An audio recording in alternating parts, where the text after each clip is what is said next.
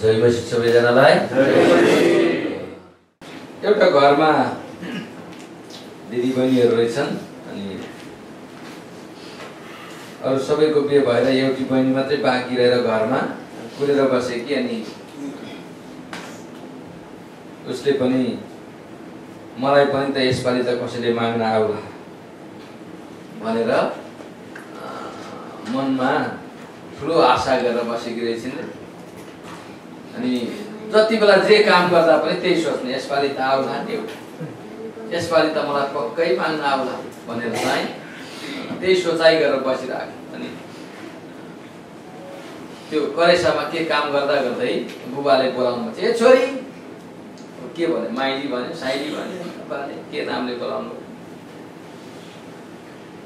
बाख्राले कोदोको बिउ खाइसक्यो गएर बाख्रो बाँध्न।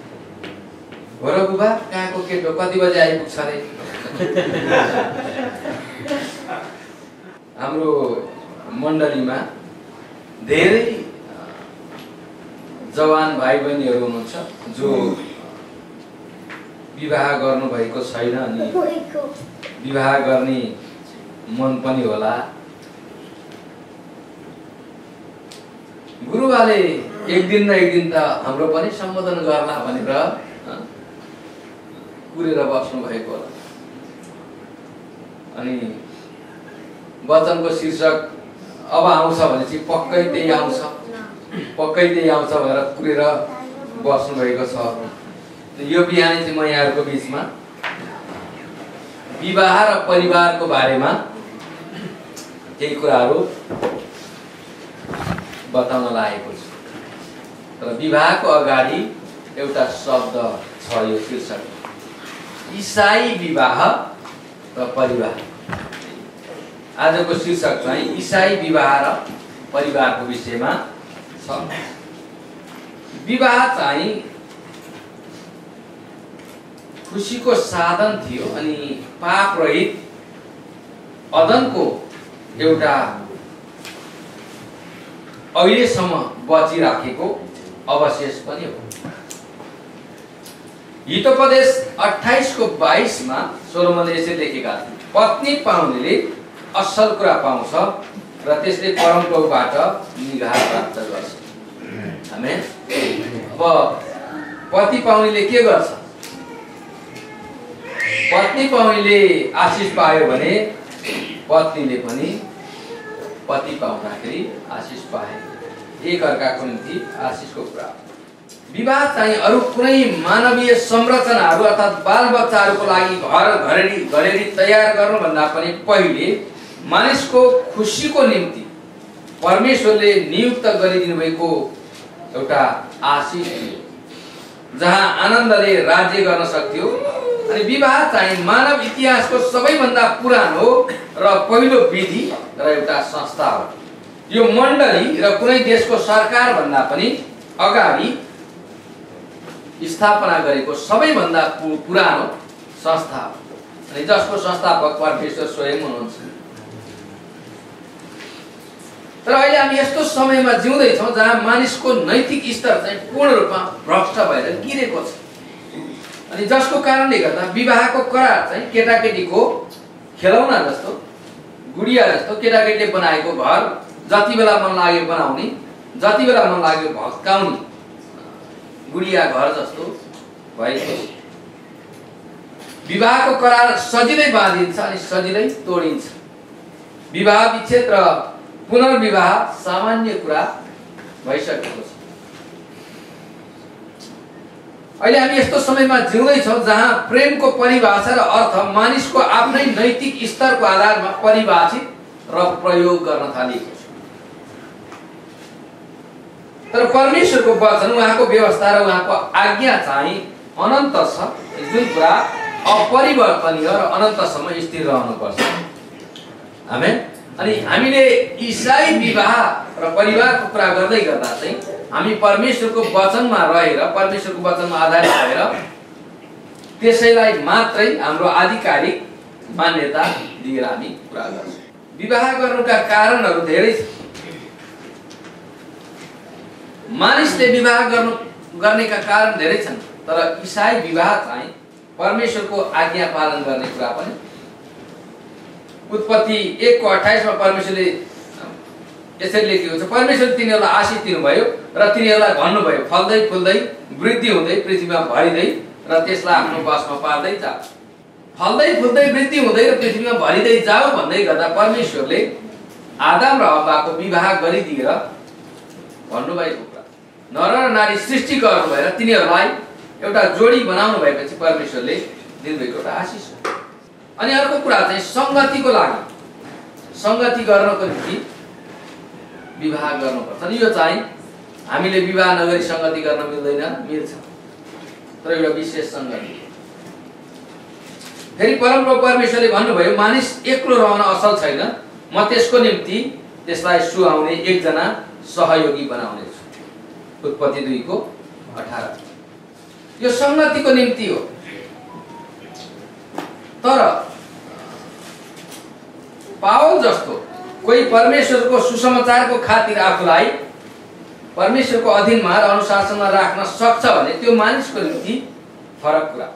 सहकार्यको लागि विवाह चाहिँ सहकार्यको लागि सँगै मिलेर परमेश्वरको इच्छा अनुसार जीवन जिउनको लागि। यसै कारण मानिसले आफ्ना आमा बुबालाई छोड्छ र आफ्नी पत्नीसँग मिलिरहन्छ र तिनीहरू एउटै शरीर हुन्छन्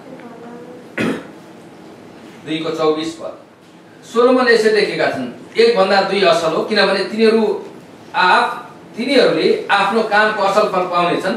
यदि एउटा लोट्यो भने त्यसको मित्रले त्यसलाई उठाउन सहायता गर्छ।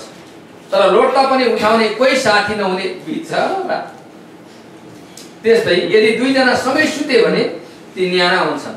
तर एक्लै त कसरी न्यानो हुने? अब अहिले हिटर छ सिरक छ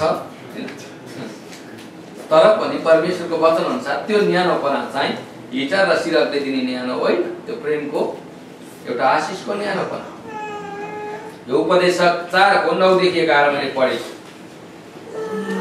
अनि अर्को कुरा चाहिँ शारीरिक इच्छा पूर्तिको लागि मानिसलाई परमेश्वरले सुरुमा बनाउँदै एक अर्काप्रतिको शारीरिक इच्छा राख्ने गरी बनाउनु भएको छ।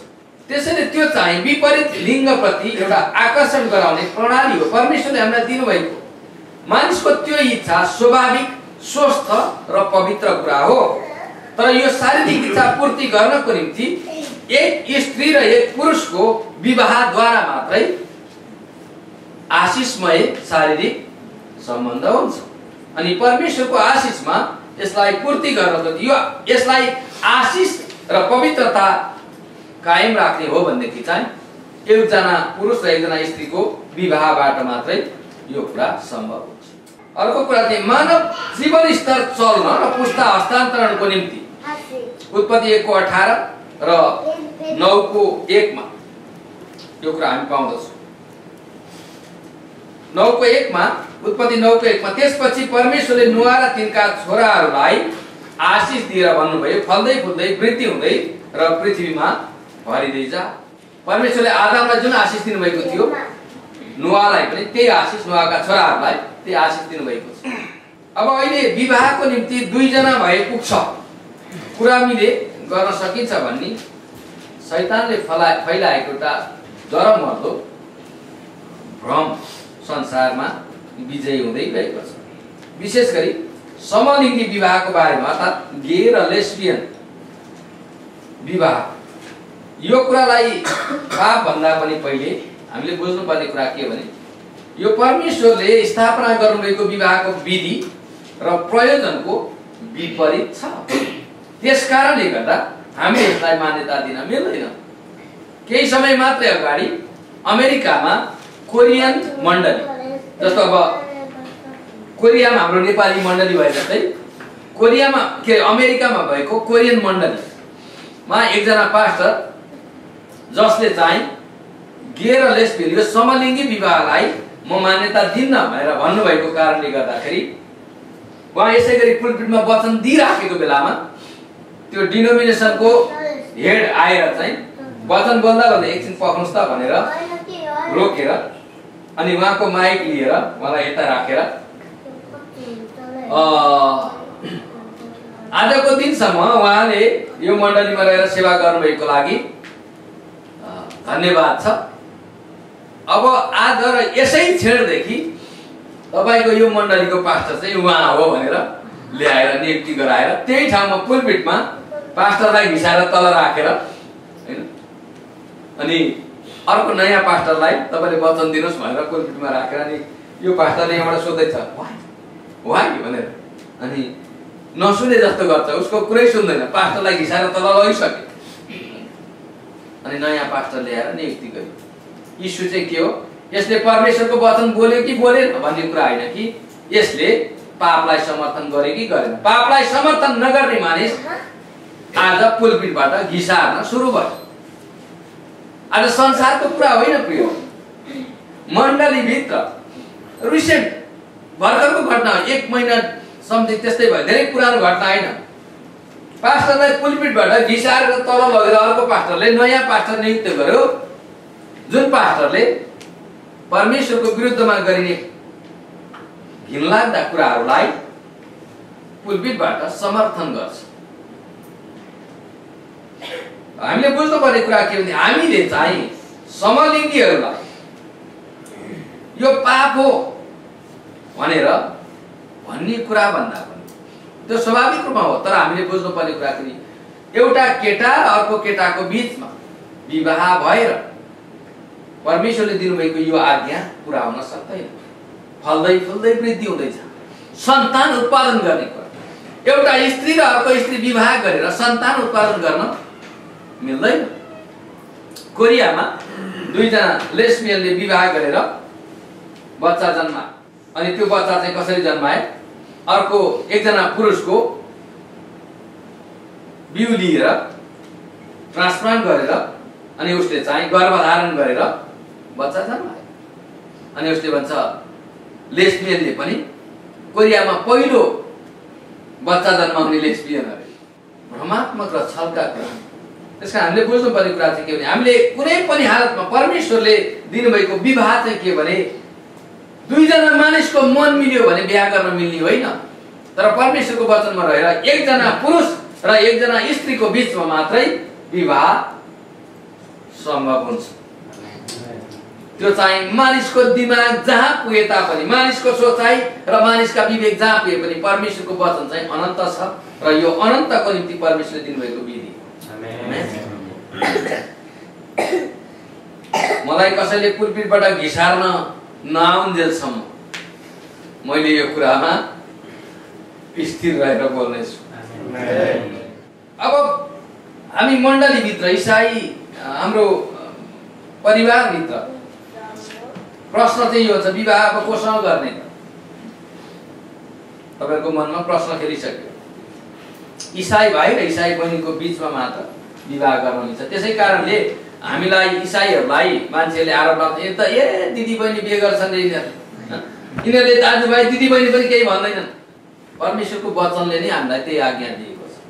हामीलाई दाजुभाइ र दिदी बहिनीको बिचमा विवाह गर्नु भनेर अनि त्यो चाहिँ के हो? आत्मिक रूपमा। हामी क्रिस्टमा नयाँ गरी जन्मिएर हामी क्रिस्टको घरानामा यसुको रगतद्वारा बनाइएका दाजुभाइ र दिदी बहिनी हामी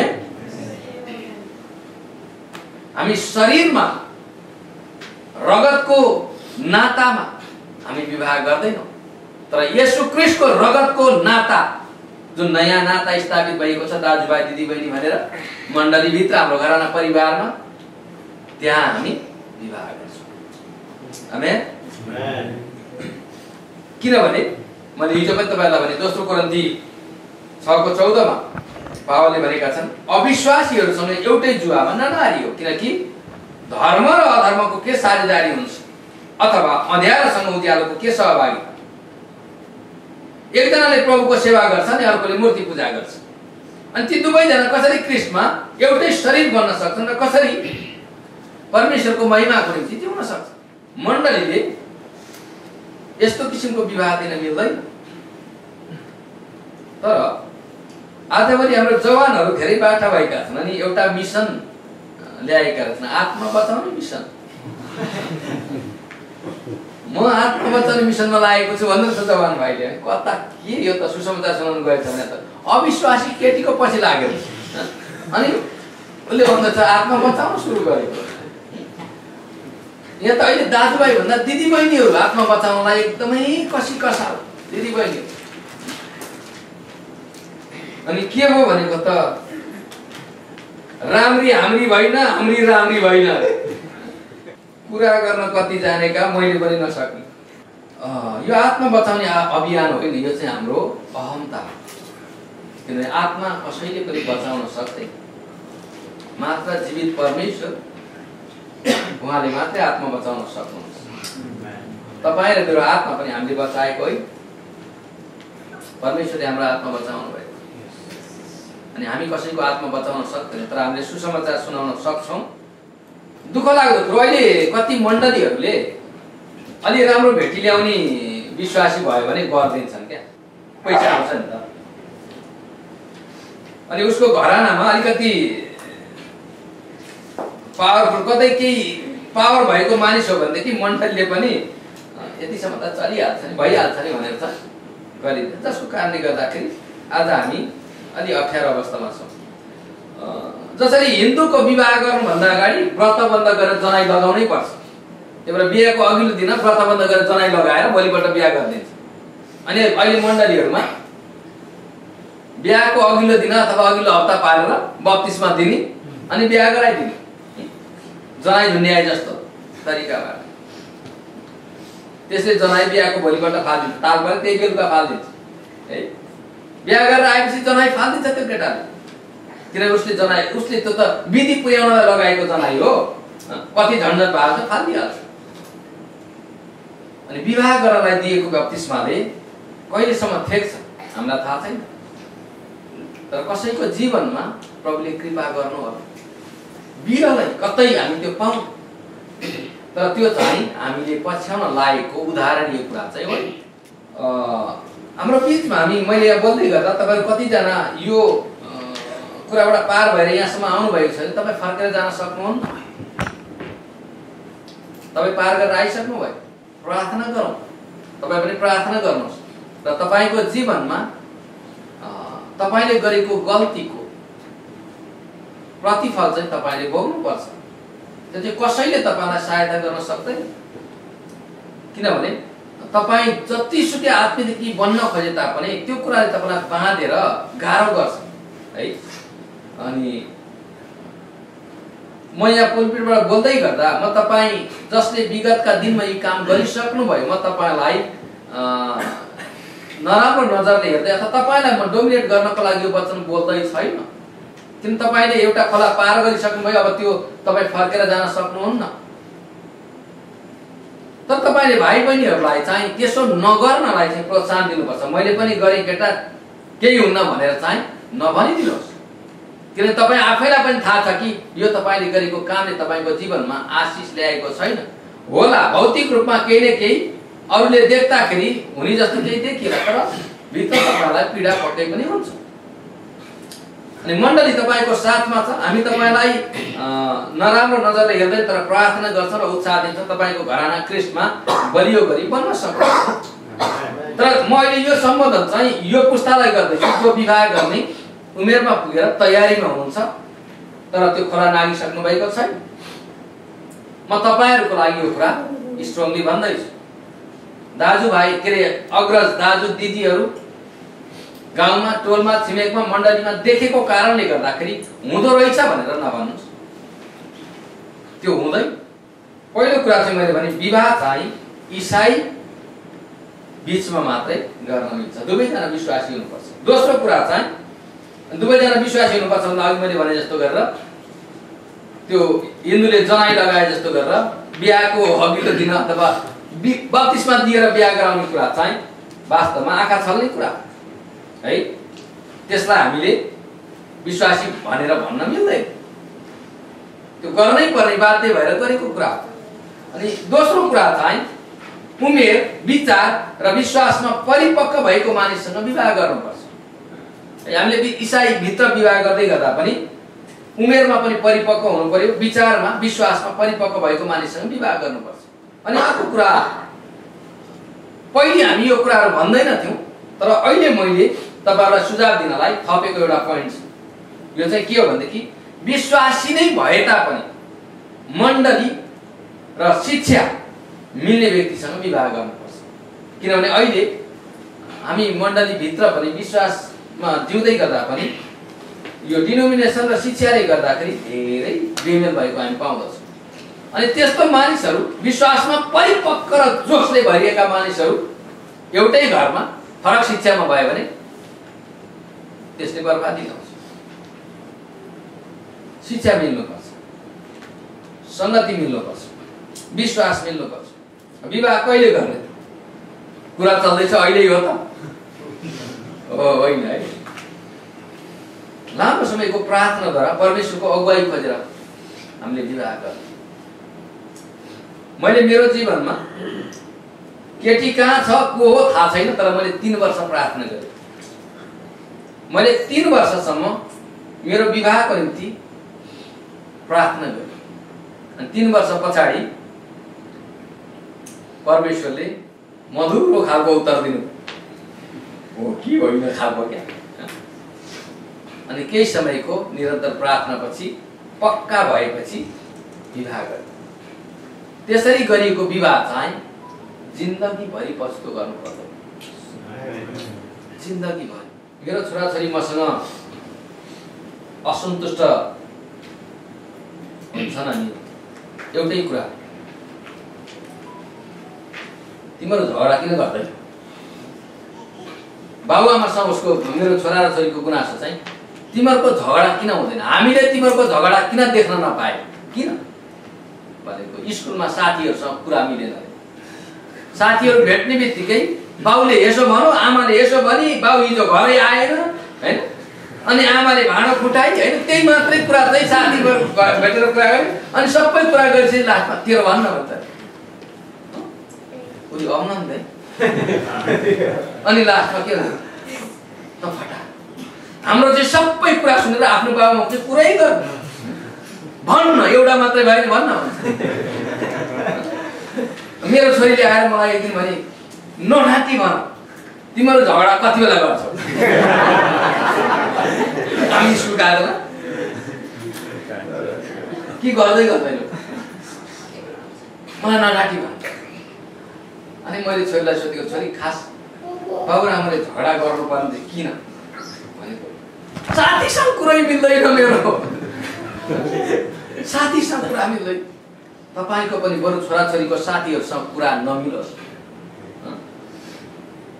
तर प्रेममा आशिषको जीवन जिउने परिवार बनोस् म विवाहको विषयमा चाहिँ मेरो विवाह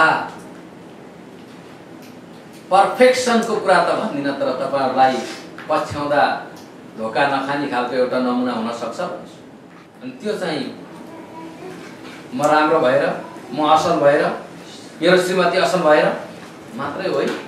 त्यो कुराले होइन। तपाईँले मलाई देख्नु भएको छ नि। मसँग व्यवहार गर्नु भएको छ नि। श्रीमतीसँग झगडा नगरिकन पन्ध्र वर्ष बिताउने मान्छे जस्तो देखिन्छु म। त्यस्तो छु म। तपाईँ हाँस्नु पनि छैन भने तर परमेश्वरको आशिष। किनभने मैले परमेश्वरको अगुवाई खोजेर प्रार्थना गरेर गरेको विवाह हो क्या। अर्को कुरा चाहिँ एकअर्काको बारेमा राम्रोसँग बुझेर उसको असल कुरा पनि थाहा हुनुपर्छ उसको कमजोर पक्ष पनि थाहा हुनुपर्छ। अनि मात्रै बिहा गर बिहा गरेपछि लुकाएर राखेको कुरा कति हुन्छन् होइन? छोपेर राखे लास्टमा बिहा गरेपछि। यस्तो पो थिस् त अब बिहा नगरिदिन्छ छोपेर राखेको बिहा गरेर छोप्ने ठाउँमै हुँदैन नि त होइन? यस्तो छ भने थापा हातमा बिहे गर्दैन थियो। अब के हो? तर धेरै प्रार्थना गर्दा गरेर सङ्गत गरेपछि थाहा हुन्छ। असल कुरा पनि थाहा हुन्छ खराब कुरा पनि थाहा हुन्छ। अनि मैले यतिसम्म चाहिँ ह्यान्डल गर्न सक्छु भन्ने पक्का भयो भने मात्रै बिहे गर्ने हो क्या। सबै कुरा पर्फेक्ट खोज्दा खोज्नु भनेको होइन मैले। तर चाहिँ सबै कुरा थाहा भएपछि इट्स ओके त्यसको तयारी गर्न सक्यो नि त यसको यो कुरा कमजोर रहेछ मैले त्यसमा यसरी तयारी गर्नुपर्छ भने प्रार्थनासहित तयारी गर्न सक्नुहुन्छ अनि मात्रै बिहे गरेर नत्र पड्किन्छ भाँचिन्छ फोड्छ। उमेरले परिपक्व हुनुपर्छ। विवाह चाहिँ केटाकेटीको खेल होइन। यो एकचोटि गरी हेरौँ कस्तो हुँदछ भनेर गर्ने कुरा होइन। यो जीवनभरिको एकपटक गरेर जीवन जिउने कुरा हो। एकअर्कामा साँचो प्रेममा रहेको थाहा भएपछि बिहे गर चरित्रको अवस्था पनि परिपक्व हुनुपर्छ अथवा चरित्र भावनात्मक अवस्थामा अस्थिर। कहिले झडङ गरिसाउने कहिले चाहिँ गर्ने होइन? अनि एकैछिनमा भनेको भएन भने उता भाँडा फालिदिने। त्यस्तो मान्छेसँग। न अनि एकैछिनमा फर्किरहेको सरी म यस्तो के गर्छु? एकैछिनमा के? कति बेला आगो कति बेला पानी एकछिन पछि म कहिले थिएन भने जस्तो। त्यस्ता त्यो दिदी बहिनीहरू त्यस्ता केटासँग होस् गर्नुहोस् मार्छ गरिसक्नु भयो भने त के गर्नु ठेकेर लानुपर्छ प्रार्थना गर्नु दुई किसिमले प्रार्थना एउटा चाहिँ उसलाई परिवर्तन गरिदिनु अनि अर्को प्रभु मलाई सहन सक्ने बनाउनु। यसरी प्रार्थना। के गर्नु? भइ सक्नु मेरो विशेष सम्बोधन चाहिँ बाँकीहरूको लागि हुँदैछ है बाँकीहरूको लागि। तपाईँहरूले पनि केही सिक्न चाहिँ सक्नुहुन्छ यसबाट है? सम्भव भएसम्म पारिवारिक सल्लाह र अनुमति। तर कति अवस्थामा? हाम्रो कन्टेक्स्टमा। हाम्रो परिवार विश्वासमा छैनन् भनेदेखि उनीहरूको तरिकाले बिहे गरिदिन चाहन्छन् क्या। एउटा छोरो बाजा बजाएर अन्माउनु मन थियो भनेर आमा रोन्छन्। अब आमालाई खुसी पार्नलाई बाजा बजाएर अन्माउन जानु भयो नि त। त्यो कुरामा हामीले नचाहँदा नचाहँदै पनि बुबा आमाको मन दुखाउनु पर्ने हुन सक्छ? एउटी छोरीलाई कन्यादान दिन मन थियो भन्ला बाबु होइन? रोएर। त्यस्तो कुरा। त्यो बाहेक सकेसम्म अभिभावकको सल्लाह र अनुमतिमा विवाह गर्नु असल कुरा हो। आर्थिक रूपमा पनि सबल भएपछि अथवा धनी भएर भन्न खोजेको होइन ल्याएपछि कम्तीमा भात खान त दिन सक्नु पर्यो। आफू नभएको बेलामा तालचा लगाएर ढोका लक गरेर सुरक्षित बस्न सक्ने ठाउँ त हुनु पर्यो तिरपालमा बस्ने भने सँगै बस्नु पर्यो छोड्नु भएन होइन। सुरक्षा गर्न चौबिसै घन्टा मचु भन्नु पर्यो न त छोडेर हिँड्नु पर्ने अवस्था आयो भने चुकुल लगाएर बस्न सक्ने सम्मको त दिनु पर्यो त्यतिसम्मको चाहिँ भएपछि विवाह गर्नुपर्छ नत्र चाहिँ बिहा त गरियो नानी मनलाई कता गएर बस्थ्यौ बस है जोगिएर। भनेर चाहिँ हुँदैन। अनि अर्को कुरा चाहिँ महत्त्वपूर्ण कुरा दुवैजना विवाहको करारलाई जीवनभरि पुरा गर्ने साँचो सहमतिमा जिन्दगीभरि मसँग जिउनलाई सक्छौ त तिमी? अथवा जीवनभरि मसँग रहन सक्नुहुन्छ त तपाईँ? भन्ने कुरा गर्दाखेरि म तयार छु भने दुवै पक्ष त्यो त्यत्तिकै त्यति बेला टार्नलाई भनेको मान्छे त्यो होस् गर्नुहोस् है।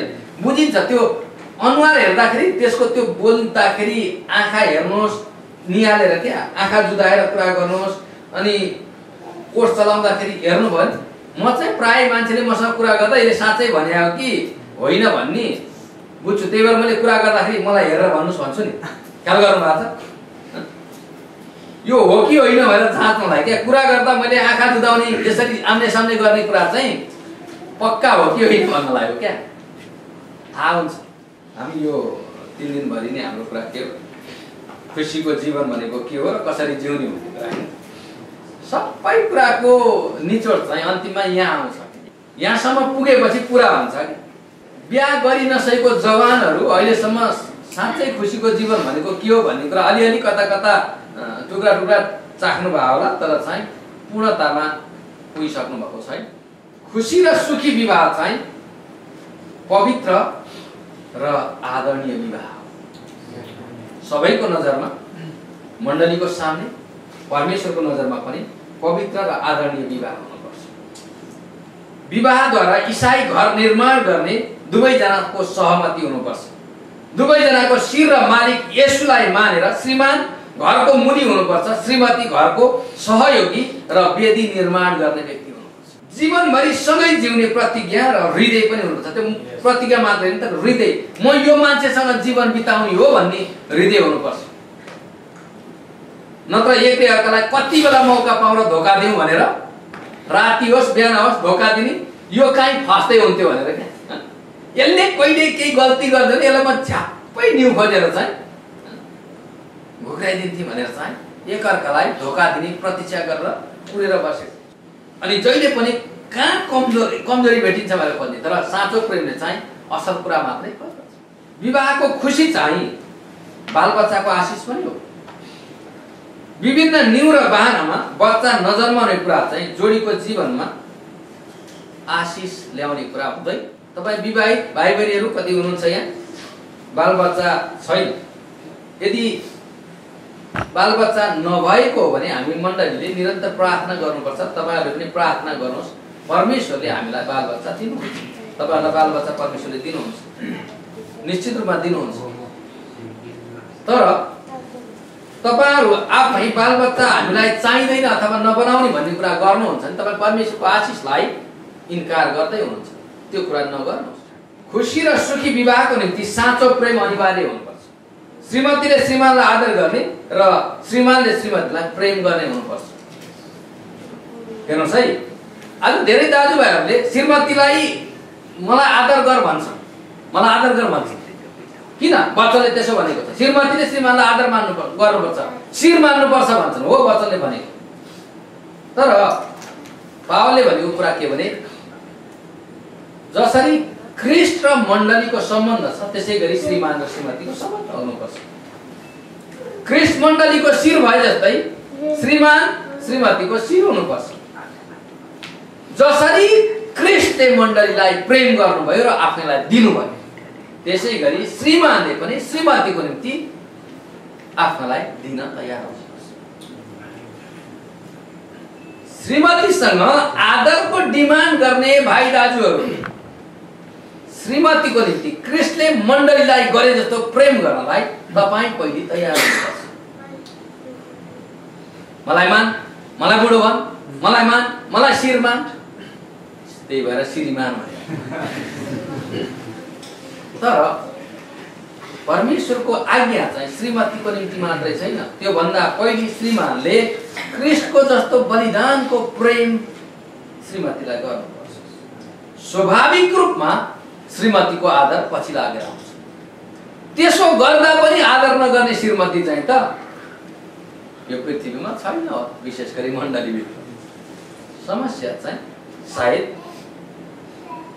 हाम्रो साँचो प्रेम गरेको चाहिँ हो तर उसले नबुझ्या पनि हुनसक्छ प्रार्थना कसरी मैले यो साँचो प्रेम उसलाई बुझाउन सकौँ भनेर परमेश्वरले बुद्धि दिनुहुन्छ। अनि अर्को कुरा चाहिँ प्रेम भनेको के हो? नबुझेका श्रीमती हो?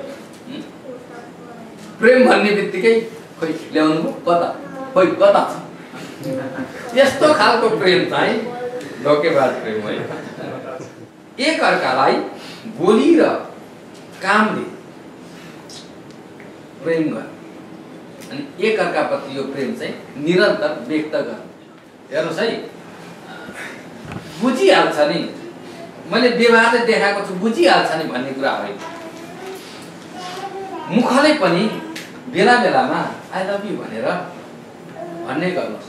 जवान केटाहरू जहाँ जसलाई पाए त्यसलाई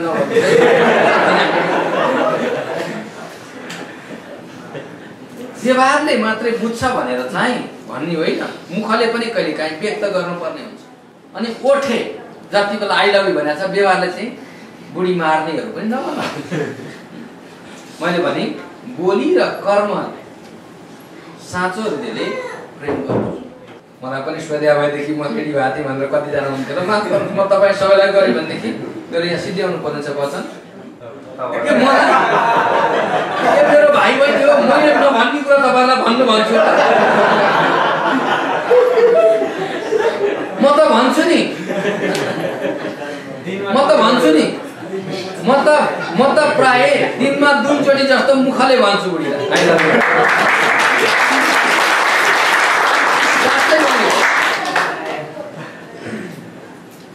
कुरो चाहिँ कस्तो हुन्छ भने मेरो बुढीले चाहिँ पहिले मलाई भन्दिनँ। जहिले पनि मैले बुढीलाई बुढी आई लभ यु भन्छु अनि बुढीले मिठो। हाम्रो चाहिँ त्यसरी जान्छ। अनि यसो बुझेको वास्तवमा हो नै त्यही रहेछ क्या? श्रीमानले चाहिँ श्रीमतीलाई प्रेम गर्ने श्रीमतीले चाहिँ श्रीमानलाई आदर गर्ने हो क्या? वास्तवमा श्रीमतीले श्रीमानलाई प्रेम गर्ने कुरा होइन आदर गर्ने कुरा। श्रीमानले श्रीमतीसँग प्रेम खोजेको होइन आदर खोजेको। श्रीमतीले चाहिँ श्रीमानसँग प्रेम खोजेको वचन अनुसार पनि त्यही हो। प्रेम र आदरको सम्बन्ध हाम्रो। है श्रीमानले आई लभ यु भनेपछि मिटु भनेर आउने चाहिँ वास्तवमा बाइबली हो। हाम्रो घरमा त्यही हुन्छ। आशिषमय विवाह र वैवाहिक जीवन र परिवारको लागि विवाहभन्दा अघि जति नै घनिष्ठ अनि मण्डली र परिवारको अनुमति र सहमति भए तापनि विवाह अघि एक अर्काको पवित्रता भङ्ग गर्नु चाहिँ पछि आशिषको जीवन जिउनलाई बाधा दिने कुरा हो। त्यस कारणले गर्दाखेरि जस्तो तपाईँहरू एकअर्कालाई मन पराउनुहुन्छ अफेयरमा हुनुहुन्छ मण्डलीलाई पनि थाहा छ परिवारलाई पनि थाहा छ सहमति पनि छ। तर तपाईँहरूले एक अर्काप्रतिको पवित्रतालाई भङ्ग गर्नु हुँदैन सोझो अर्थमा भन्दाखेरि तपाईँहरू विवाह अगाडि यौन सम्बन्धमा जानु हुँदैन एक अर्काको वस्त्र खोलेर नाङ्गोपना हेर्नु चाहिँ परमेश्वरको नजरमा अपमानित कुरा हो। तपाईँ आशिषको जीवन जिउन चाहनुहुन्छ अनि एक अर्काको आदर पाउन चाहनुहुन्छ पछिसम्म भने साँचो प्रेम गर्नुहुन्छ भने प्रेमले चाहिँ पवित्रतामा पर्खिन्छ। म तिमीलाई यति प्रेम गर्छु भने थाहा छैन। यति कुरा पनि टेर्दिनौ त्यो साँचो प्रेम होइन। म तिमीलाई यति प्रेम गर्छु कि म पवित्रता तिम्रो पवित्रता अन्तिमसम्म कायम राख्नलाई म तिमीलाई सहायता गर्छु। विवाह अघि दुवैजना कसैसँग पनि शारीरिक सम्बन्धमा नरहेको हुनुपर्छ। नत्र त्यो स्त्री र पुरुष पुरुषको वैवाहिक जीवन सुखी हो। खुसी र सुखी वैवाहिक जीवनको लागि व्यविचारदेखि दुवैजना अलग र निष्कलङ्क रहनुपर्छ। व्यविचार र अश्लील चरित्रले मानिसको परिवार र विवाह बर्बाद गर्नुको साथै व्यक्ति स्वयंलाई पनि नरकमा लाने डर हुन्छ पार पाचुकी अर्थका अथवा सम्बन्ध विच्छेद परमेश्वरको विवाह दिनुको उद्देश्य होइन। तर बाइबलमा व्यविचारको कारण बाहेक अरू कारणले विवाह विच्छेदलाई अनुमति दिएको छैन। व्यविचारको कारण हो भने त्यो चाहिँ बाध्यता रहर होइन। त्यो चाहिँ पीडामा गरिएको सम्बन्ध विच्छेद। त्यो विषयमा चाहिँ मेरो सान्त्वना र सहानुभूति मात्रै छ। सम्बन्ध विच्छेदलाई म सहमति र सल्लाह दिन्न तर कसैको साँच्चै कठोर र घृणित व्यविचारको कारणले गर्दा पीडित भएर रुँदै सम्बन्ध विच्छेद गरेको छ भनेदेखि मेरो सान्त्वना छ। अनि हाम्रो मण्डली परिवार सबैको घरानामा परमेश्वरको पवित्रताले राज्य गरोस् भन्ने मेरो प्रार्थना छ। पवित्र विवाह र खुसी परिवार मण्डलीको निम्ति पनि आशिषको कुरा हो। मण्डली भनेको व्यक्ति व्यक्ति र उसको परिवार मिलेर बन्ने संस्था हो। कसैको घर परिवारमा आशिष छैन भने त्यो परिवारले मण्डलीमा पनि आशिष ल्याउँदैन। परिवारमा समस्या भएको घरानामा श्रीमान श्रीमतीको बिचमा समस्या भएका मानिसहरू मण्डलीमा सबै त्यस्तै मान्छे भेला भयो भने मण्डली भद्रगोल हुन्छ। अनि जुन घरानामा आशिष छ जुन घरानामा प्रेम छ जुन घरानामा असल सम्बन्ध छ तिनीहरूले मण्डलीलाई पनि आशिष ल्याउँछ। मण्डलीको आशिषको निम्ति पनि परिवार स्वस्थ हुनुपर्छ। परिवार सुखी हुनुपर्छ र आशिषित हुनुपर्छ। जुन परिवारमा श्रीमानले परमेश्वरको भय मान्छ श्रीमती र बालबच्चाले परमेश्वरको भय मान्छन् त्यो परिवार र मण्डली। आशिषको परिवार र आशिषको मण्डली हुन्छ। तर यदि परिवारमा परमेश्वरको आदर हुन्न भने त्यो परिवारले मण्डलीमा पनि आशिषलाई रोक्छ। मण्डलीमा अशान्ति हुन्छ अगुवाहरू जहिले पनि त्यो परिवारमा परामर्श सल्लाह सुझाव दिनलाई थपित हुन्छ। मण्डलीमा अरू काम गर्ने नै। नेपालमा धेरै भोगिन्छ नि होइन? राति पनि फोन आउँछ बुढाबुढी झगडा गरेर होइन? राति फोन आउँछ पास्टर जानुपर्छ। अनि कसले पहिले नि खोइरहेको छ अर्कोले के भन्छ? तपाईँ हाम्रो घरको मामलामा हस्तक्षेप नगर्नुहोस्। अनि अर्कोले भन्छ तपाईँले जसरी पनि यो कुरा मिलाइदिनु पर्यो पास्टर विचार जवान भाइ बहिनीहरू विवाहको लागि केटा कता छ केटी कता छ भनेर चाहँदै हिँड्नुभन्दा पहिले परमेश्वरसँग प्रार्थना गर लामो प्रार्थना गर्नुहोस् अनि प्रभुले उचित समयमा तपाईँलाई जोड जोडी मिल्ने परमेश्वर जुटाउनु भएको मानिस देखाउनु प्रभुको अगुवाई खोज्नुहोस्। अभिभावकलाई भन्नुहोस्। मण्डलीको अगुवालाई भन्नुहोस्। सल्लाह लिनुहोस्। जोस र बल अनि धन छ भन्दैमा तपाईँले सबै कुरा जान्नु भएको छ र सबै कुरा निर्णय गर्न सक्नुहुन्छ भन्ने भ्रमबाट बाहिर निस्कनुहोस्। जवानहरू भनेको बल भएका जोस भएका झोक भएका र धैर्यता नभएका मान्छे हो। सबै कुरा प्रशस्त तर धैर्यताको अभाव भएको समय चाहिँ जवान अनि अग्रजहरूसँग अगुवाहरूसँग सल्लाह लिएर प्रार्थना गरेर यो काम गर्नु। यो कुरा चाहिँ के हो भने आशिष पाएर आशिष गुमाएर फेरि क्रिस्ट यसुद्वारा आशिषको पुनर्स्थापना गरिएको कुरा चाहिँ यो विवाहको र घर घराको परिवारको सम्बन्ध र आशिषको पनि पुनर्स्थापना।